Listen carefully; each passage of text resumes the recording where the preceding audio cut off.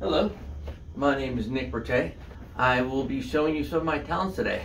So sit back and enjoy. Thank you. Nick works for an engineering company. He's a project manager and designs cellular sites for telecom equipment. I think he needs to quit his day Yeah, job. I think you And- could.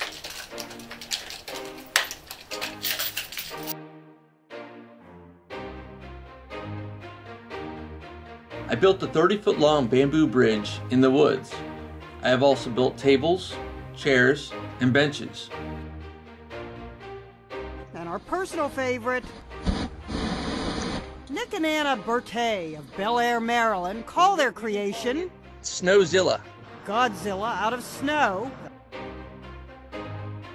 The Special Abuse Recreation Center has an annual Walk a Mile in Her Shoes event. Last year, I decided to make my own rocket shoes for fun. Since we are in the cell phone business, I decided to make a six foot tall model cell tower to be used as a teaching implement for staff. I purchased a partially built kit car. I removed the engine and transmission. I rebuilt the engine and installed it all back into the car.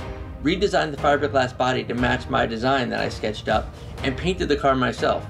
The car is street legal.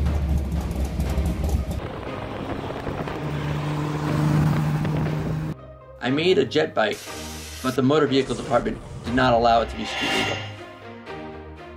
I built a cigar box guitar for charity out of two Cohiba cigar boxes with a rosewood neck. I made another cigar box guitar that was also auctioned off at a celebrity dance competition. Right now, Nick Berte of Maser Consulting will be dancing the tango with his wife and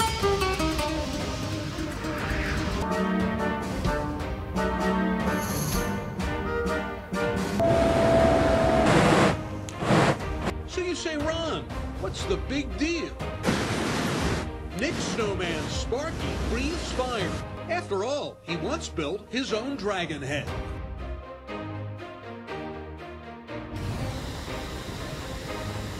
I made a one-of-a-kind wine barrel table from scratch. I designed pneumatic mechanical devices to present 12 bottles of wine.